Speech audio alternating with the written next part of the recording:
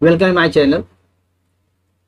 And आज का जो क्लास सेशन है, आज का जो हमारा टॉपिक है, वो है कंपेटिव कॉस्ट एडवांटेज थ्योरी मैंने पिछला जो, इससे जस्ट पिछला वीडियो मैंने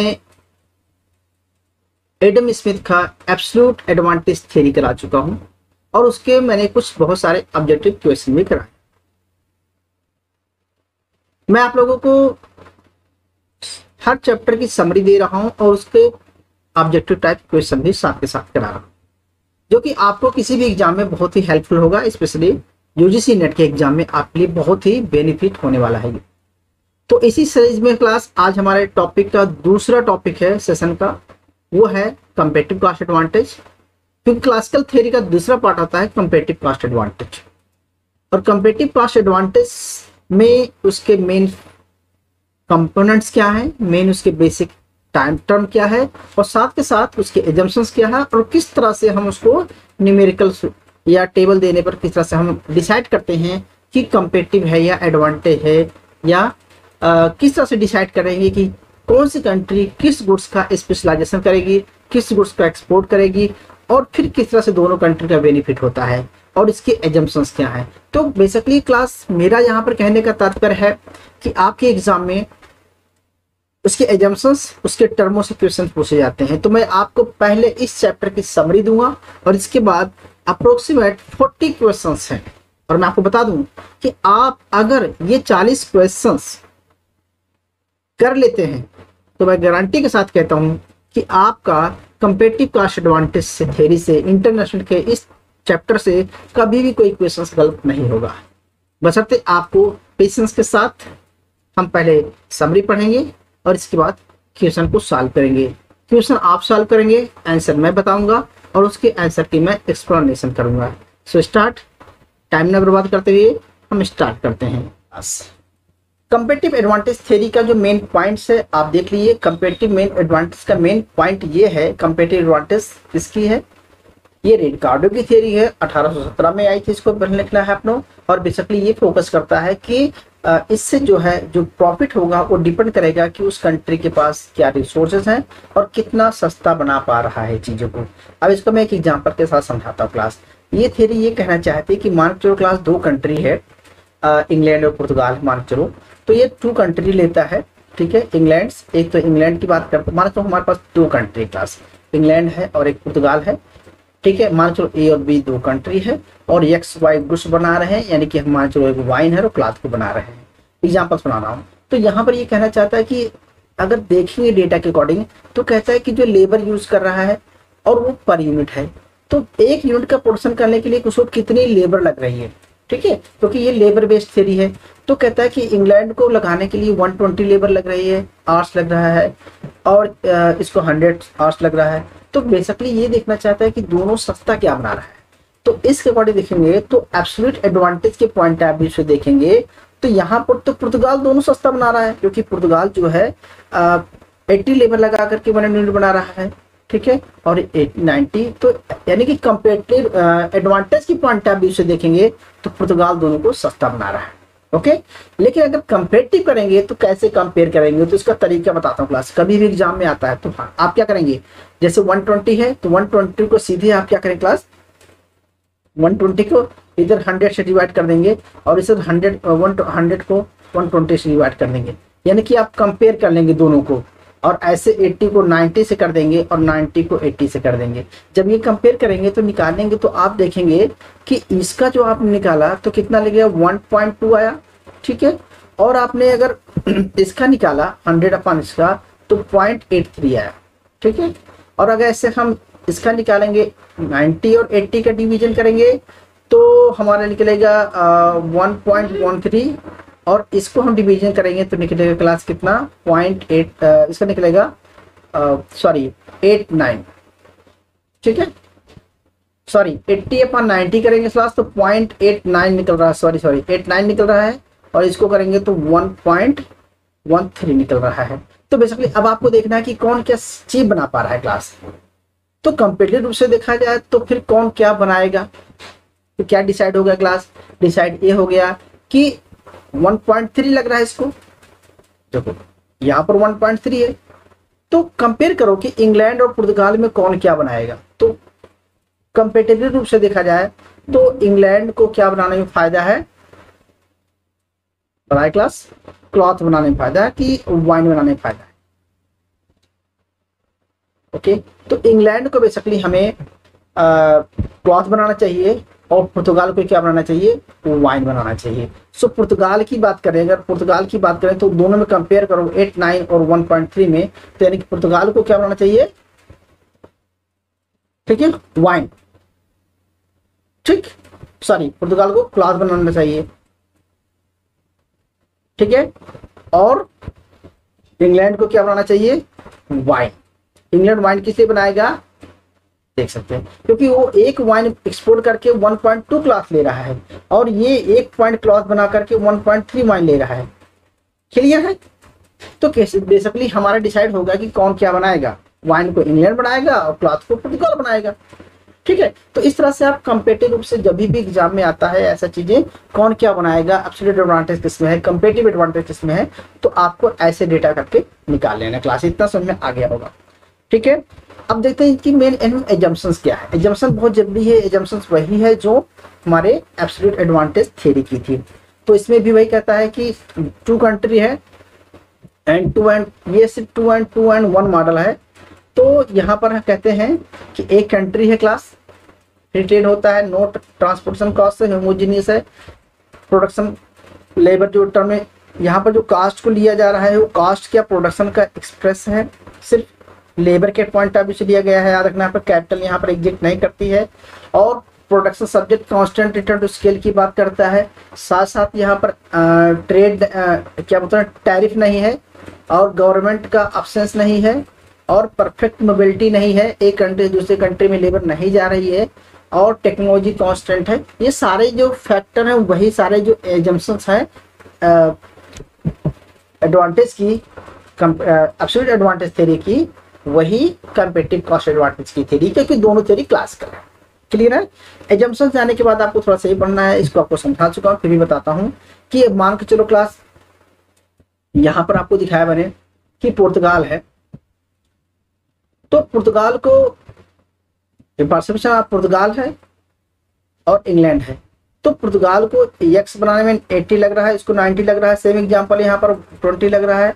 अब इसको कैसे निकालेंगे? तो वही बताया था आपको कि इसको क्या करेंगे? डिवाइड कर देंगे। डिवाइड करने का तरीका देख लीजिए कि 80 है 120 है। तो हम लिखेंगे, अगर मान चलो हम वाइन की बात करते हैं क्लास कंपेयर निकालने के लिए। तो वाइन निकालने के लिए कंपेयर निकालने के लिए तरीका ये होता है, चाहे तो मेरा वाला तरीका अडाप्ट कर लीजिए, या इस तरीके को भी आप लिख सकते हैं, समझ सकते हैं। तो बेसिकली क्या करना आपको कि 80 है और इसको तो बेसिकली हमें एक्स अपान वन ट्वेंटी लिखेंगे यहाँ पर, ठीक है?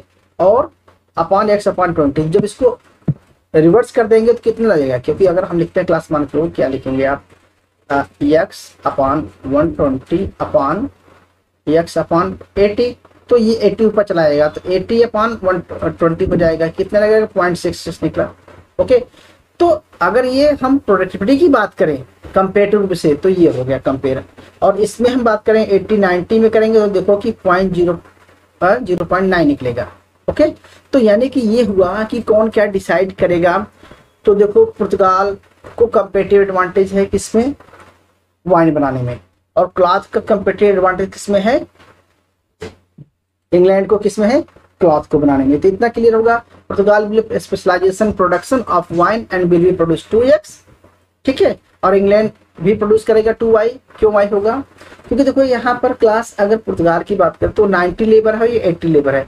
अगर इस 90 लेबर को निकाल करके 90 आवर्स को अगर यहाँ पर देगा तो ये टू एक्स बना लेगा क्लास बना लेगा? क्योंकि यहाँ पर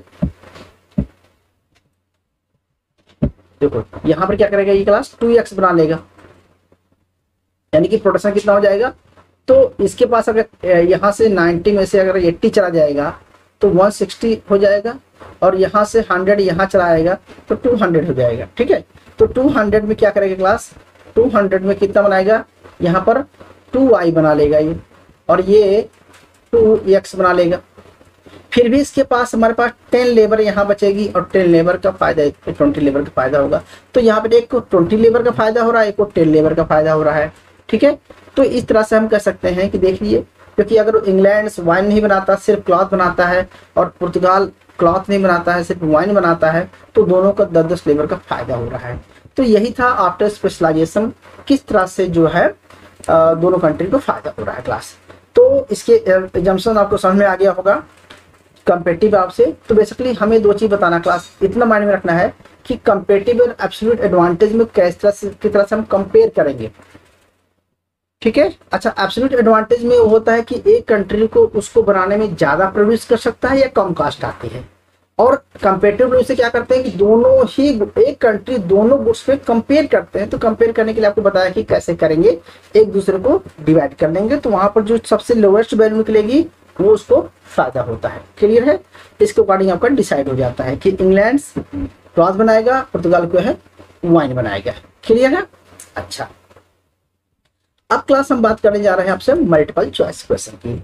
उम्मीद करता हूँ कि इतना कॉन्सेप्ट क्लियर है तो आगे आप हर एक क्वेश्चन को सॉल्व कर लेंगे स्टेप बाय स्टेप तो चलिए फ़र्स्ट क्वेश्चन आपके लिए मैं देता हूँ क्लास और आप सॉल्व करिए, बताइए क्लास हमारे सामने एक टेबल दी गई क्लास ध्यान से समझना। Information table answer first question है। दो कंट्री हैं साउथ कोरिया जापान और यहाँ पर साउथ कोरिया, जापान, स्टील और डीवीडी का प्रोडक्शन कर रहे हैं। अब क्वेश्चन ये है, देख लीजिए। Opportunity cost of DVD in Japan कितनी है? तो आपको पहले प्लास से क्लास करना क्या होता है? करने का तरीका क्या है डीवीडी को? अपॉर्चुनिटी कॉस्ट कैसे निकालेंगे क्लास ऐसा बताइए प्लीज़ सो हमें करना क्या प्रेस ट्वेंटी को ट्वेंटी से डिवाइड करेंगे, हमें कंपेटिव नहीं निकालना है, यहाँ पर अपॉर्चुनिटी कॉस्ट निकालना है। तो अपॉर्चुनिटी कॉस्ट का मतलब होता है डीबीडी अब जापान में जाइए पहले और डीबीडी में बात करिए। तो अगर वो अपॉर्चुनिटी कॉस्ट मतलब होता है स्टील ना बनाए, क्या बनाए? डीबीडी बनाए। तो क्या होगा? ट्वेंटी अपॉन ट्वेंटी, यानी कि वन, सीधे बात है तो वन टन ऑफ़ स्टील ठीक है? सिंपल सा है, बाकी आप देखिए आंसर क्या है। सही है? इतना चले आगे? Yes answer is correct next class बताइए। सेम दो कंट्री हैं। तो opportunity cost of one DBD in South Korea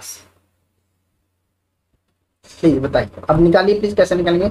south Korea को क्या मिल रहा क्लास साउथ कोरिया को की जो अपॉर्चुनिटी कॉस्ट है डीवीडी में, एक डीवीडी बनाने में क्या रही?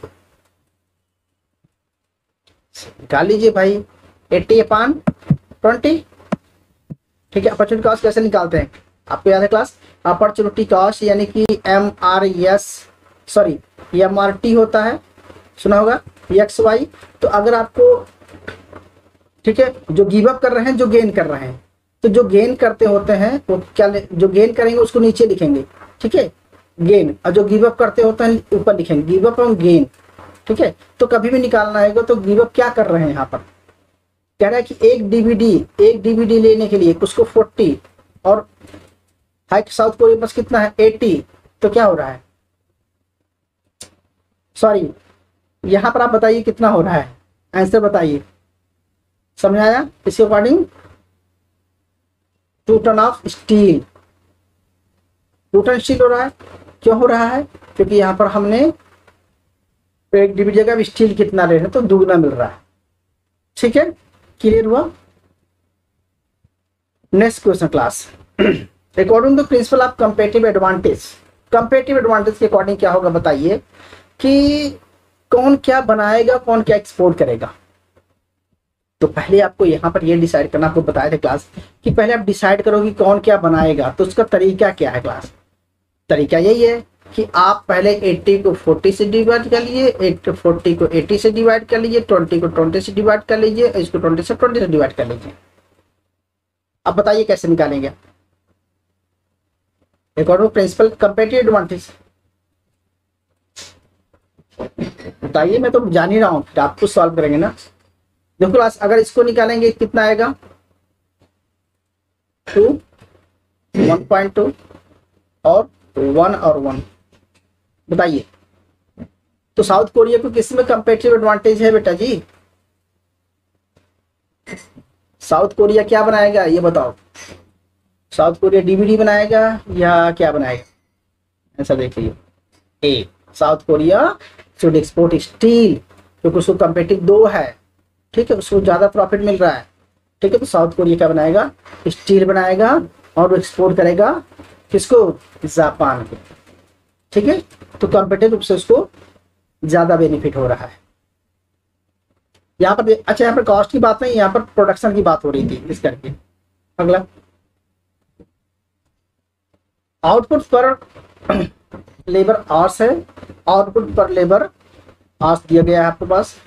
मतलब इसमें दिया गया क्लास की एक घंटे में क्या प्रोड्यूस कर रहा? है मतलब एक लेबर आउटपुट पर आर्स लेबर एक लेबर एक घंटे में क्या प्रोड्यूस कर रही है? ठीक है? अब दो कंट्री है कंट्री ए और कंट्री बी दो कंट्री है प्रोडक्शन एक्स वाई का हो रहा है। तो आपको दिखाना कि country A has absolute advantage किसमें है? तो एब्सोल्यूट एडवांटेज कैसे निकालेंगे? जो, आप बताइए आंसर बताइए प्लीज़ एब्सोल्यूट एडवांटेज निकालने का तरीका क्या है कि वो सस्ता बना पा रहा है, ज़्यादा बना पा रहा है तो आप देखिए कि एक घंटे में, एक घंटे में एक कंट्री की बात हो रही है यहाँ पर तो आप पहले एक कंट्री में आइए, ठीक है, हमारे पास एक कंट्री है तो इस एक कंट्री में देखो कि ज़्यादातर क्या बना पा रहा है वाई को बना रहा है या एक्स को बना रहा है तो एब्सोल्यूट एडवांटेज किसमें है? बताइए प्लीज़ वाई में या एक्स में? वाई में। ठीक है? Okay next question class same मैंने लिया हुआ है। कंट्री भी है एब्सोल्यूट एडवांटेज किसमें है? एब्सोल्यूट एडवांटेज की बात कर रहा है यहाँ पर। कंपेटिव की बात नहीं कर रहे हम कंपेयर नहीं किया। अगर कंपेटिव करना होता तो हम क्या करते? सीधे सबको आपस में डिवाइड करते। लेकिन यहाँ पर अगर हम बात कर रहे हैं एब्सोल्यूट एडवांटेज की तो बताइए। जैसे हमने बी अब बी कंट्री क्या है? बी कंट्री है तो बी कंट्री ज़्यादा क्या बना पा रहा है? नाइन है तो यानी कि एक्स के प्रोडक्शन में है। सिंपल साइंस है। ठीक है? आंसर है। नेक्स्ट क्वेश्चन क्लास सेम चीज़ है। आप बताना, एक country where trade along line absolute advantage absolute advantage according बताइए तो कौन क्या एक्सपोर्ट करेगा? तो हमने अभी थोड़ी देर पहले डिसाइड किया कि एब्सोल्यूट एडवांटेज के अकॉर्डिंग बी कंट्री क्या बनाएगी? एक्स को बनाएगी, और ए कंट्री क्या बनाएगी? वाई को बनाएगी। इसका मतलब होता है कि एक कंट्री क्या एक्सपोर्ट करेगी? वाई को इंपोर्ट करेगी एक्स को ठीक है? यानी कि एक्सपोर्ट करेगी वाई को और इंपोर्ट करेगी एक्सपोर्ट करेगी वाई को इंपोर्ट करेगी एक्स को। और बी कंट्री क्या करेगी? एक्सपोर्ट करेगी एक्स को और इंपोर्ट करेगी वाई को इंपोर्ट करेगी। तो क्या इसमें आंसर क्या रहा है? A good expert A would export X to B ना, गलत है। B B would import Y from A B सही लग रहा है। बी क्या करेगा? वाई को मंगाएगा। तो हमारे हिसाब से तो बी आपसे सही रहे। ठीक है? क्लियर ओके नेक्स्ट क्लास बताइए। If country way trade long with lines competitive advantage अब अब बात आती है कंपेटिव एडवांटेज की। तो अब बताइए कौन क्या बनाएगा? तो कंपेटिव एडवांटेज से बताने के लिए आपको पहले बताया था क्लास कैसे निकालेंगे? प्लीज़ आप निकालिए। ओके तो हमें निकालने के तरीके आपको पता है आपको? हमने आपको बताए थे कि हम, हमें निकालना होगा तो हम कंपेटिव एडवांटेज देखेंगे। कैसे निकालेंगे? थ्री को नाइन से कर दीजिए नाइन को थ्री से कर दीजिए टू को फोर से कर दीजिए, फोर को टू से कर टू को फोर से कर दीजिए देखिए क्या आएगा। ठीक है? तो इसका आंसर क्लास बी आएगा कि A would be export to B A क्या करेगा? एक्सपोर्ट करेगा किसको?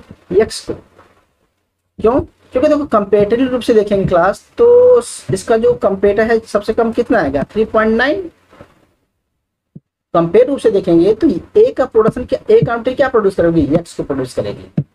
और बी को एक्सपोर्ट करेगी। ठीक है, और ये क्या बनाएगा? टू अपॉन फोर जो सबसे सस्ता पड़ता है, वो बनाएगा, और दूसरे को एक्सपोर्ट करेगा।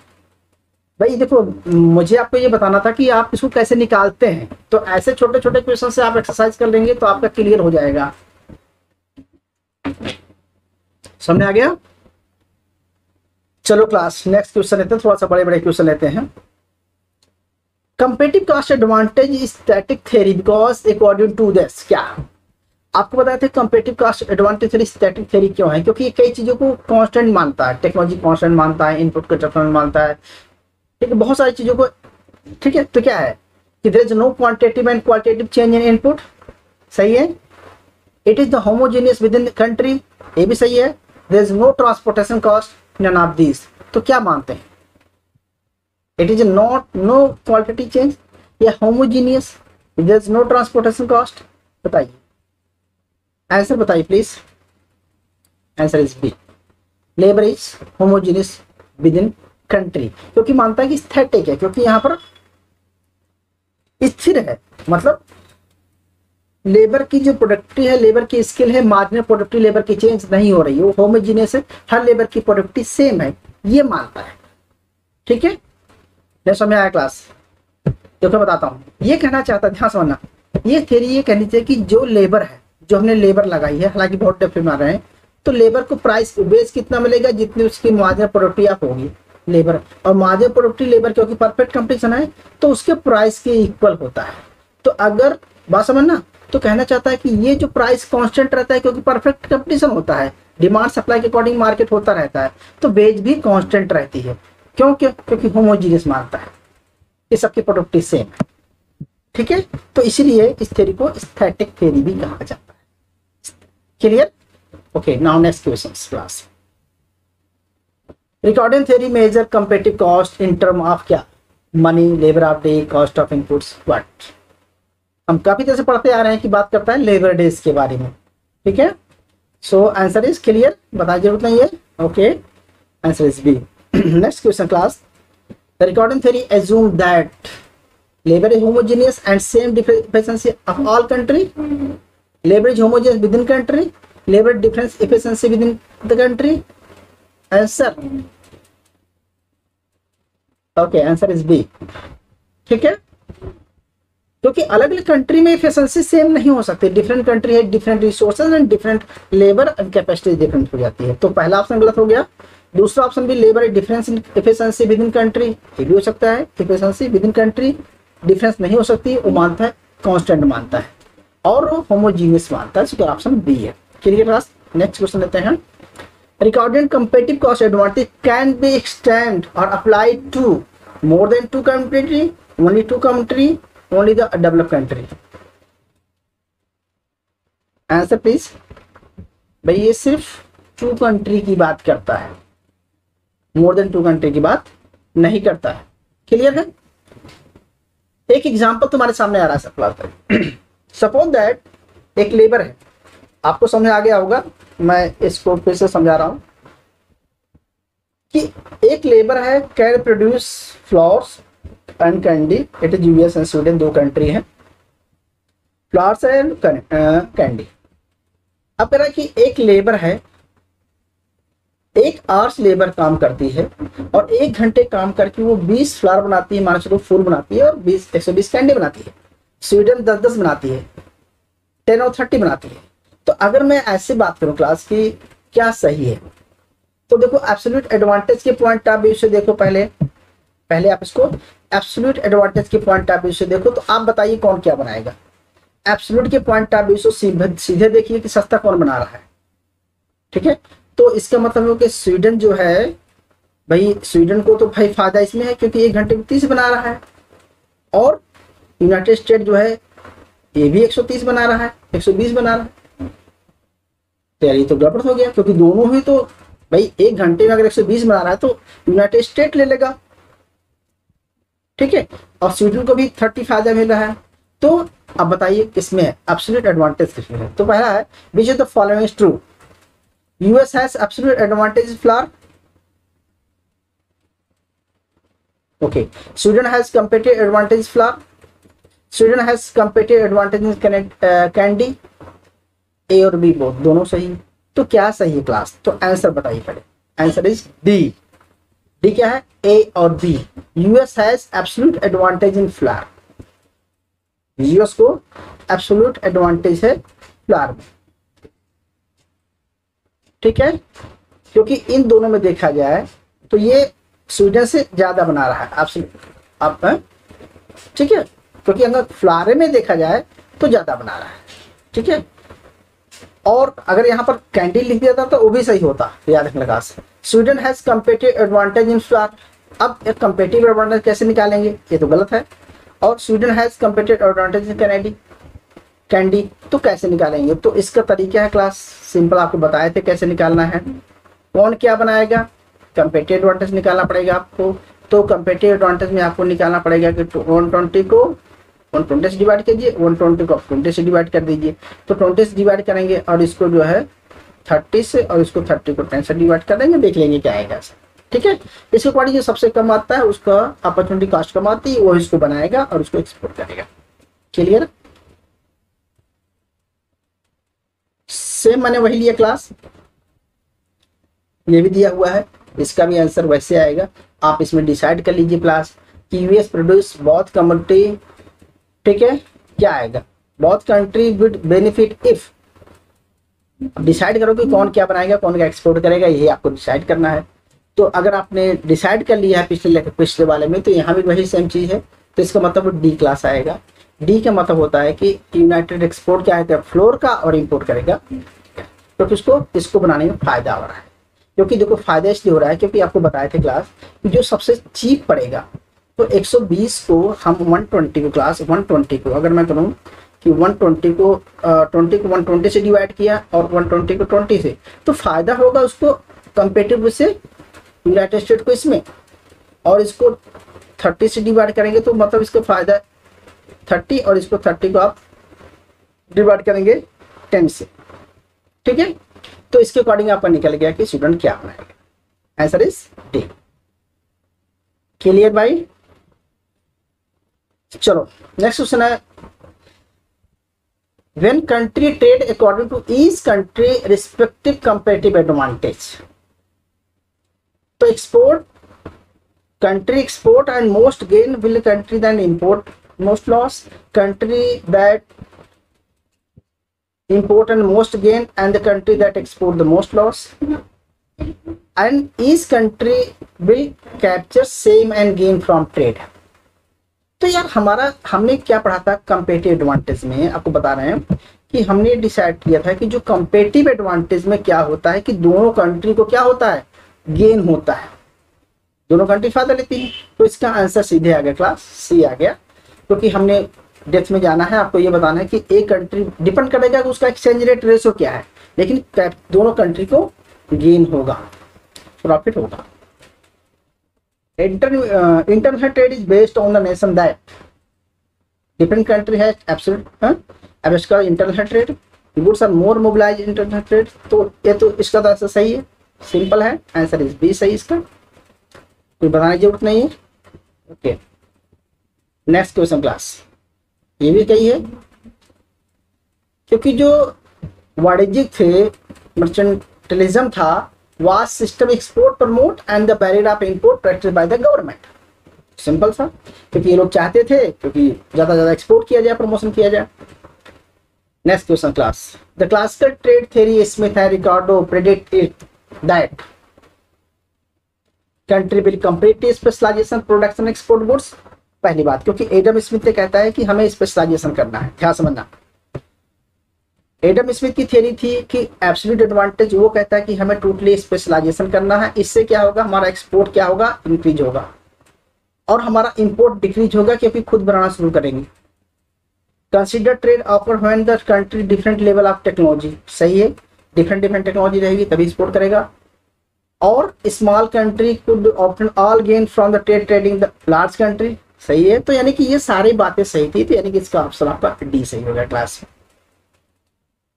next, the gain from interest rate are closely related to answer ठीक है, सबको पता ही है class okay so answer is B how much of की price different from the international term in trade change कितना प्रॉफिट होगा, कितना चेंज होगा कि इंटरनेशनल टर्म्स ऑफ़ ट्रेड क्या चल रहा है? कितने गुड्स के बदले कितना एक्सपोर्ट इंपोर्ट हो रहा है उस पर डिपेंड करता है। और रिकार्डो का जो कंपेटिव एडवांटेज कास्ट थेरी उसमें जो एक्सचेंज रेट डिसाइड करता है कि एज्यूम करता है कि, कितने गुड्स के बदले कितना एक्सपोर्ट करने से कितना इंपोर्ट हो रहा है तो उस पर डिपेंड करेगा। According to the classical theory international trade क्या थी क्लास आई होप उसके लिए। आंसर क्या only country will low base will export गलत है। ओनली कंट्री विल अरे, सब सही है आंसर डी सही है क्लासेस का ठीक है? Next question classical model of Ricardo and direction to trade determined by सही है? Answer absolute advantage competitive advantage physical advantage with any with. Okay? Is the competitive advantage. Ricardo का competitive advantage था। Next question absolute advantage determine क्या करता है बेटा जी? बताने की ज़रूरत नहीं है। Relatively different the labour productive within country and और actual difference labour productive within country तो आंसर इज़ ए सही है। Actual difference in labour productive within between country. हमारी कंट्री में जो लेबर की प्रोडक्टी है और दूसरे कंट्री में जो लेबर की प्रोडक्टी है। हमारे यहाँ की लेबर की प्रोडक्टी अगर एक्स को बनाने में है, यानी क्लॉथ को बनाने में तो हम क्लॉथ का प्रोडक्शन करेंगे। और दूसरे कंट्री में लेबर की प्रोडक्टिव जो एफिशिएंसी है वाई को बनाने में है तो वाई का प्रोड्यूस करेगा। तो इसका सही आंसर है first A right next question लेते हैं। कंपेटिव एडवांटेज रिटर्न बाई इसको शायद हम कर चुके हैं क्लास दोबारा शायद क्वेश्चन आ गया। ओके बी नेक्स्ट क्वेश्चन लेते हैं. The competitive advantage model record was based किस पर है class okay answer is B ठीक है? Inter inter industry specialization and trade if tests are identical between two countries, the competitive advantage is determined by and demand condition can not tell without information demand condition and supply condition तो हम आपको पढ़ाने पढ़ा रहे हैं अभी तक class की सप्लाई कंडीशन की बात हो रही है कंपेटेटिव एडवांटेज कौन कितना सप्लाई कर सकता है, ठीक है? क्योंकि हम डिमांड थेरी नहीं पढ़ रहे हैं यहाँ पर। ये सप्लाई साइड बेस्ड होता है। चाहे रिकॉर्डेड की थेरी हो, चाहे कंपेटिव कास्ट एडवांटेज थेरी कह सकते हैं या जो एडम स्मिथ की थेरी है, वो दोनों सप्लाई साइड बेस्ड है। क्योंकि लेबर की प्रोडक्ट हाँ मार्केट प्रोडक्शन की बात करता है डिमांड की तो बात ही नहीं करता। तो ऑल आर जो क्लासिकल थेरी है बेस्ड कितने वो सप्लाई कंडीशन बेस्ड है। क्लियर नेक्स्ट क्वेश्चन क्लास बहुत important question assume that there are two country A and B and they can both produce two goods X Y both competitive advantage product that simple सा answer सामने आ गया? इसको तो निकाल लेंगे। Okay answer is B क्योंकि trade can only take place if country A has absolute advantage in production one goods and country B has absolute advantage production other goods अगर देखो, आपको पहले बताए थे? पहला गलत नहीं। देखो तो हमारा जो ऑप्शन है, इसमें ध्यान से समझना है क्लास यहीं पर आपको बताता हूँ कि अगर हम एब्सोल्यूट की बात करेंगे, ध्यान से ना। अगर एब्सोल्यूट की बात करेंगे तो उस केस में क्या होगा एक कंट्री को दोनों में एब्सोल्यूट फ़ायदा होगा। अगर हम कंपेरेटिव की बात करेंगे तो कंपेरेटिव में एक कंट्री को एक एक कंपेरेटिव में क्या होता है? दोनों कंट्री को एब्सोल्यूट एडवांटेज होता है। लेकिन कंपेरेटिव एडवांटेज एक कंट्री को होता है। तो इसका आंसर क्या आएगा? क्लास इसका आंसर बी आएगा। ठीक है? क्लियर है? Next question the nation if nations has competitive advantage in production of goods. Answer आप पढ़ लीजिए आंसर बताइए। Answer is it can produce goods and lower opportunity cost and the trading the partner जो सस्ता बना पा रहा है, जिसमें कम अपॉर्चुनिटी कॉस्ट है, उसी को प्रोड्यूस करेगा। मैं इतनी देर से ही आपको समझा रहा हूँ। कि जो भी डेटा मिलता है, उसके अकॉर्डिंग हमें यही डिसाइड करना है कि जिसकी लो अपॉर्चुनिटी कॉस्ट है, उस गुड्स का प्रोड्यूस करेगा और जो हाई अपॉर्चुनिटी कॉस्ट है, उसको प्रोड्यूस नहीं करेगा, उसको इंपोर्ट करेगा। तो answer is a clear next question according to the principle of comparative advantage बता चुका हूँ, पढ़ा चुका हूँ, इसका आंसर आप ढूंढिए, मैं आंसर आपको बता देता हूँ आंसर बी सही है। क्यों? क्योंकि country should be specialise in the production of goods which they have lower opportunity cost थोड़ी देर पहले बताया ठीक है? तो लो अपॉर्चुनिटी कास्ट एक दूसरे को बढ़ाएगा, बाकी ऑप्शन तो आप पढ़ लेंगे तो डिफरेंस हो जाता है। Okay next question last according to theory competitive advantage this following not the region of country trade. Competitive advantage? The cost of higher is one country than other country price are lower than one country to other country the productivity of labor different across the different industries answer क्या है तो आपको पहले ही समझ आना है कि अगर कंपेटिव बात कर रहे हैं तो दो कंट्री में लेबर की प्रोडक्टिविटी डिफरेंस है कॉस्ट डिफरेंट है इंडस्ट्री डिफरेंट है तो कुछ समझ में आ रहा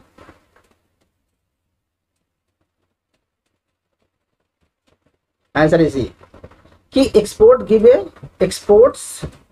exports give a country to political advantage other country that the export less advantage ठीक है? तो क्यों? क्योंकि इसमें ये सारा का सही है। ये सारे ऑप्शन सही हैं। क्योंकि इसमें नॉट था। कंफ्यूज में तो ना कई बार हम लोग भी कंफ्यूज हो जाते हैं कि यहाँ पर नॉट है क्लास अगर यहाँ पर नॉट लगा हुआ है तो इसका मतलब होता है कि नहीं है। तो ये तो है ये अगर कंपेटिव एडवांटेज की बात करें तो होना चाहिए। ये भी होना चाहिए। प्राइस लो प्राइस पर वन कंट्री प्रोड्यूस करेगा सस्ता, जो सस्ता बनाएगा, वो एक्सपोर्ट करेगा, जो महँगा बनाएगा, उसको इम्पोर्ट करेगा। और इसमें labour different different product different country होना चाहिए तो all are option clear so only this option not related related advantage theory clear? Okay. Which of the following statement would be mercantilist not agree with it export and desire तो आपको पहले बता चुका हूँ, answer इसका B A आएगा trade is zero sum activities okay if the all prices one country a higher than all price of other country ठीक है? The wage rate of the happening privilege in the two country that is the country share in the same currency then if the nominal wage rate currency be the remain fix अब बताओ क्या? कह रहा है कि if the all price country are B तो सही क्या होगा? द नॉमिनल वेज रेट अच्छा मैं आपको चीज़ बता दूँ पहले साहब। पहले आपको बताया था कि ध्यान रखना पहले आपको बताया कि परफेक्ट कंपटीशन की बात करते हैं और वेज रेट परफेक्ट कंपटीशन में डिसाइड करता है। और वहाँ पर वेज रेट क्या था? उसके मार्जिन प्रोडक्टिव के अकॉर्डिंग डिसाइड होता है। इसी बेस पे आप इस क्वेश्चन को डिसाइड कर लेना क्लास आंसर आपको बता देता हूँ। आंसर इसका है nominal wage rate country A will be have to fall होगी। ठीक है? क्लियर हुआ? बाकी आंसर आप देख लेना according to theory a competitive advantage country will export a goods if uh, right कब? एक कंट्री एक्सपोर्ट करेगी जब वो चीप बना पाएगा सस्ता बना पाएगा। उसकी प्राइस कम होगी उसकी प्रोडक्टिव ज़्यादा होगी लेबर स्किल्स ज़्यादा होगी। अब इसके अकॉर्डिंग ऐसा देख लीजिए क्या आएगा? Answer is D it cost producing goods related to other goods at least low as the other country से कम करेगा तो अपना वो आंसर इज़ डी आएगा। क्लियर बेटा? एक सामने फिर एक एग्जांपल कर लेते बहुत सही है। इससे आपको पता चल जाएगा कि आपको समझ में आया कि नहीं आया। Suppose that Australia India have unit labour of requirement of the producing steel and cloth so on the table of the giver Australia को एक यूनिट लेबर जो है ऑस्ट्रेलिया में लगाई जाती है तो वो, ठीक है, स्टील की थ्री यूनिट का प्रोडक्शन करता है और इंडिया में आठ का। क्लॉथ का टू का और वन का। अब बताइए इसमें क्या है, किसको फ़ायदा हो रहा है? तो बताइए, अब देखो, हम आपके कंपेटिव बात नहीं कर रहे हैं। आप बताइए सबसे पहले कि, वैसे समझ लीजिए कि एब्सोल्यूट के पॉइंट ऑफ़ व्यू से देखोगे तो एब्सोल्यूट के पॉइंट ऑफ़ व्यू से देखोगे तो किसको फ़ायदा है? एक लेबर लगा के इंडिया तो आठ का प्रोडक्शन कर रहा तो इंडिया को तो यार स्टील बनाना चाहिए। और इसको भी स्टील बनाना चाहिए। तो अगर एडवांटेज कंपेट एब्सोल्यूट एडवांटेज देखोगे तो दोनों फिर तो ट्रेड नहीं होगा। वो भी बना रहा, वो भी बना रहा। लेकिन कंपेटिव देखें। कंपेटिव देखने की क्या करेंगे क्लास आपको पहले बताया था कि कौन क्या बनाएगा। तो तीन को आठ से डिवाइड कर लीजिए। आठ को तीन से डिवाइड करिए तीन को एक से कर दीजिए और एक को दो से कर दीजिए। तो देखो क्या आएगा। और इसके अकॉर्डिंग देख लीजिए क्या आएगा। ठीक है? तो जहाँ पर हम तीन वाट करते हैं, इसका मतलब ऑस्ट्रेलिया को जो है ऑस्ट्रेलिया हो गया। और इसमें करेंगे तो दो से एक का तो एक आए, दो एकम एक दो दो ही आएगा। तो फ़ायदा किसमें हो रहा है क्लास तो यानी कि ऑस्ट्रेलिया स्टील बनाएगा और one point two zero point five आ रहा है, यानी कि इंडिया जो है क्लॉथ बनाएगा। ठीक है? ये तो सब रहा कंपेटिव में। तो अब बताइए इंडिया क्या बनाएगा? कंपेटिव में। E all of above India has competed on cloth सही है? अब बताइए प्लीज़ प्लीज़ पहला सही है? India has absolute advantage cloth Australia has competed advantage steel निकल गया? ठीक है।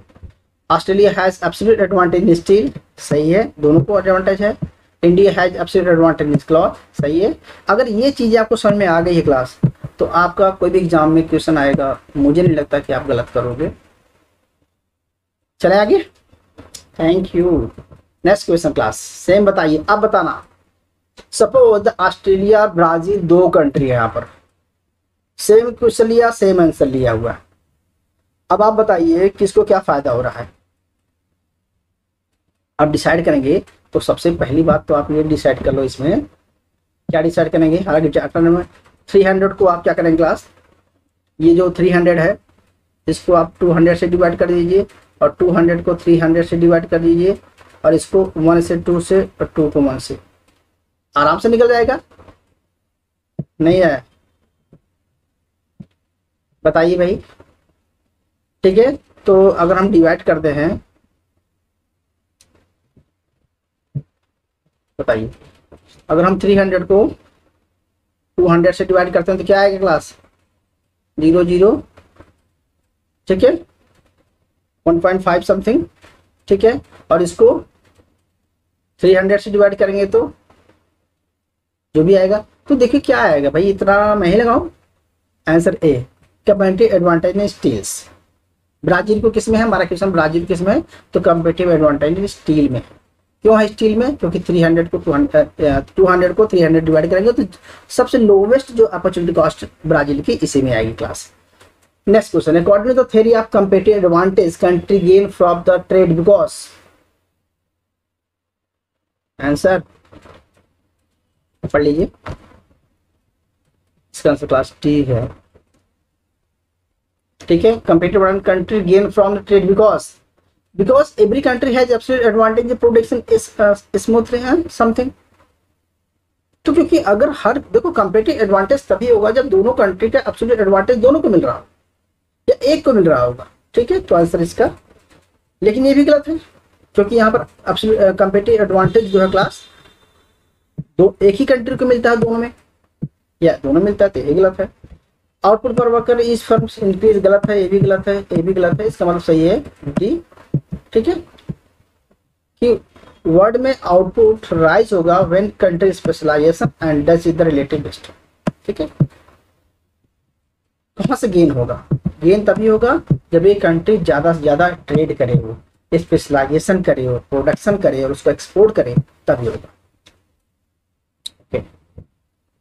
चलो एक एग्जांपल ऑफ़ क्लास आपके सामने है the trade value the table below show the maximum amount of the coffee and tea that India and Japan can produce if they just produce one goods assume करो कि यहाँ पर marginal cost constant है। Change नहीं हो रही है।